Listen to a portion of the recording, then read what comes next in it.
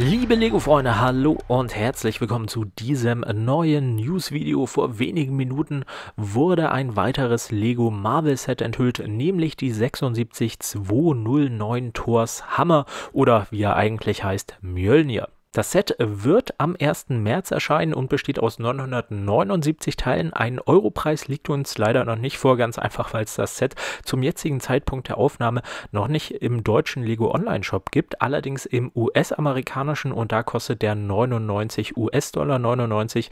Deswegen gehe ich einfach mal davon aus, dass wir auch hier in Deutschland 100 Euro dafür bezahlen müssen. Und wie ihr schon sehen könnt und wie sich das natürlich auch für ein 18 Plus Sammler-Set gehört, gibt es nicht nur einen kleinen Präsentation Standfuß, sondern auch eine bedruckte Plakette, wie wir sie zum Beispiel schon von den Star Wars Helmen kennen, aber auch vom Infinity Handschuh.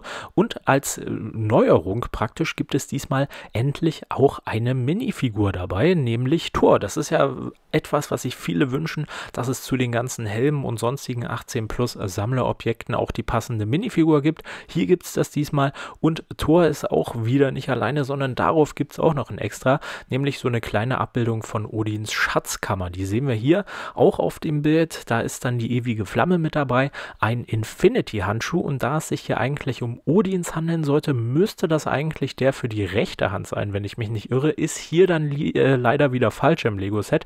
Das scheint ja dann Thanos Infinity-Handschuh zu sein, was auch immer der in Odins Schatzkammer macht.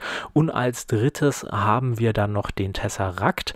Und diese drei Objekte, die müssen nicht einfach so daneben stehen, sondern die können als kleines Easter Egg dann auch noch im Kopf von Mjölnir verstaut werden. Insgesamt kommen wir hier bei diesem Ensemble auf eine Höhe von über 46 cm und ich muss sagen, der Hammer wirkt eigentlich auch so, als wäre das eine 1 zu 1 Abbildung. Ähm, was mir leider nicht so gefällt, ist, dass am Hammerkopf die verschiedenen Details, da sind glaube ich so Runen und sowas drauf, das fehlt hier leider. Das hat man weder mit Drucken und überraschenderweise auch nicht mit Stickern gelöst, sondern der Hammer ist einfach leer. Ich blende hier mal ein Bild ein von der Version, wie wir sie aus den Filmen kennen. Da sind an den verschiedenen Kanten immer so ein bisschen dunklere äh, Verschnörkelungen noch drauf.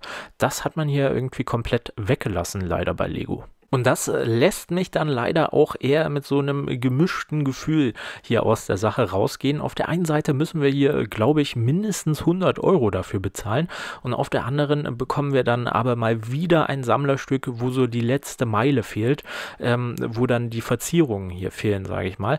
Also, ach, da fehlt es irgendwie äh, Lego in letzter Zeit. Das hatte ich ja schon bei den Star Wars Helmen bemängelt. Auch die, der erste Eindruck wirklich sehr toll, aber wenn man sich da mal genau anschaut, ist dann immer noch irgendeine Sache, die nicht ganz so perfekt ist. Das sehe ich hier leider bei dem Hammer genauso. Nichtsdestotrotz, ich hoffe, er kommt auch in den freien Handel und ist dann mit Rabatten verfügbar. Dann werde ich mir den sicherlich hier auch kaufen. Aber jetzt seid erstmal ihr gefragt, was haltet ihr denn von dem Hammer, dem äh, Mjölnir? Schreibt es mir gerne unten in die Kommentare.